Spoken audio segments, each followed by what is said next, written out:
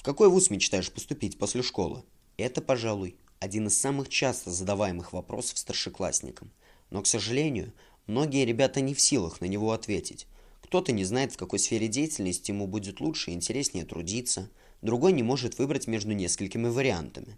Поэтому сегодня мы решили рассказать о том, на что следует обратить внимание при выборе будущей профессии, а также об одной из самых популярных и быстрорастущих сфер деятельности в современном мире. Выбрать профессию не всегда легко, но важно помнить, что обучение новой специальности должно вам нравиться. Подумайте, что вам интересно и с чем бы вы хотели связать свою жизнь.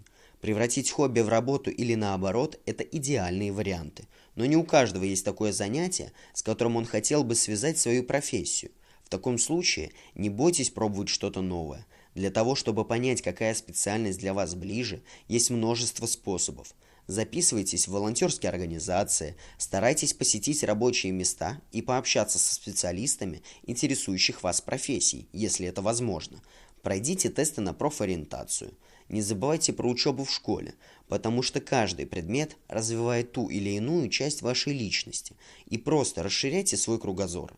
Благодаря этому вы сможете больше узнать о самом себе и окружающем вас мире. И уже в школьные годы прикоснуться к некоторым профессиям – но самое главное, вы получите бесценный опыт, который вам обязательно пригодится. В последнее время одной из самых распространенных и активных сфер деятельности являются IT-технологии.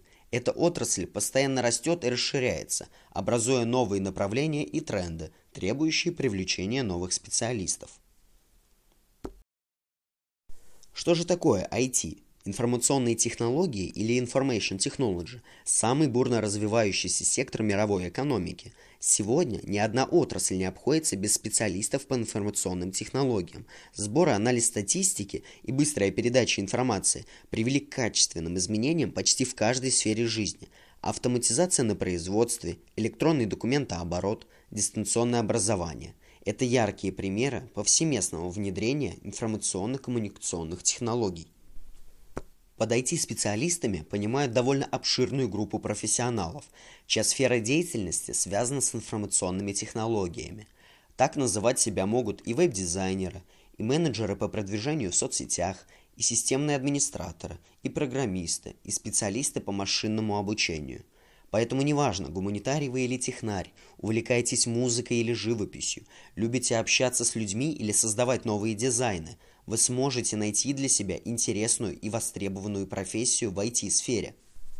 Если вы чувствуете, что информационные технологии – это ваше, то не теряйте времени и начинайте изучать IT-сферу.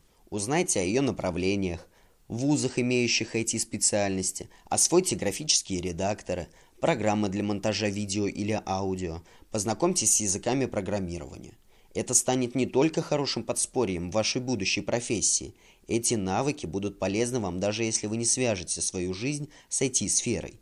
Не бойтесь пробовать что-то новое. Чем больше вы узнаете о окружающем вас мире, тем проще вам будет определиться со своим будущим.